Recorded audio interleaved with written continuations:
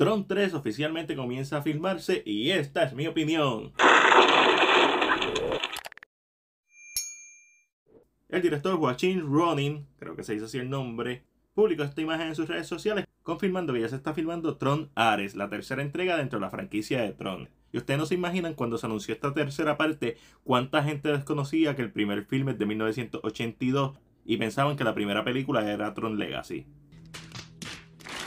Originalmente, cuando salió Legacy en el 2010, se iba a hacer una secuela inmediata, la cual fue cancelada en el 2015. El director de Legacy, Joseph Kosinski, había dicho que la misma se iba a tratar de como básicamente una invasión del mundo de Tron al mundo real, pero esos planes pues fueron cancelados.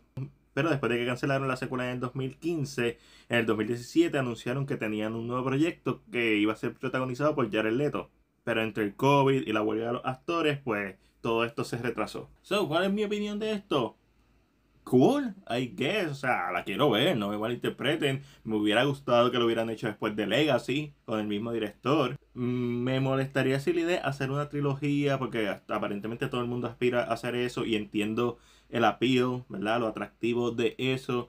Pero, mano, cuenta una buena historia, que continúe lo que hizo Legacy y siga expandiendo este universo y de ahí partimos. Y obviamente estos IP son utilizados muchas veces porque son reconocidos para el público general y porque se prestan para la expansión y para explorar y, hay una oportunidad de crecimiento y eso es lo que me motiva a esta película. Pero lo que me preocupa es que no conozco lo suficiente del director. Él hizo Maleficent Mistress of Evil en el 2019, hizo Pirates of the Caribbean Dead Mantle No Tales en el 2017 hizo episodios de Marco Polo y darle una franquicia como Trump, pues si bien se presta para que haga algo interesante, una nueva voz haciendo algo interesante, estoy 100% de acuerdo con eso, no sé si esta es la persona indicada, así que el tiempo dirá. Pero entre las noticias que han salido, esta es una de las más emocionantes porque el mundo de Tron nuevamente se presta para hacer cosas extremadamente inventivas.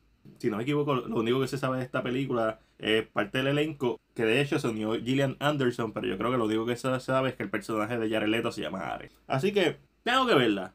Como la mayoría de las películas, hay que esperar para verla. Qué bueno que esta producción se, por fin se está realizando con todos los atrasos que tuvo y todos los obstáculos que tuvo. Estoy loco de que digan cuál es la hipnosis, estoy loco de saber un poquito más de ella porque este mundo siempre me ha gustado. Si no has visto mi reseña de Tron 1982, la original, con Jeff Bridges, bien jovencito, te recomiendo que la veas, ya que es como una mezcla de la retrotecnología con estas películas de los 50, 60, 70, como de 80, incluso como Clash of the Titan, Jason and the Argonauts. Eso es lo que me gusta mucho de Tron, que tiene su propia mitología y tiene una oportunidad para expandir que vimos aparte en Legacy, pero ahora podemos explorar en Ares nuevamente y quizás irnos por otras rutas o eventualmente caer en la misma ruta de Legacy y hacer una secuela, maybe.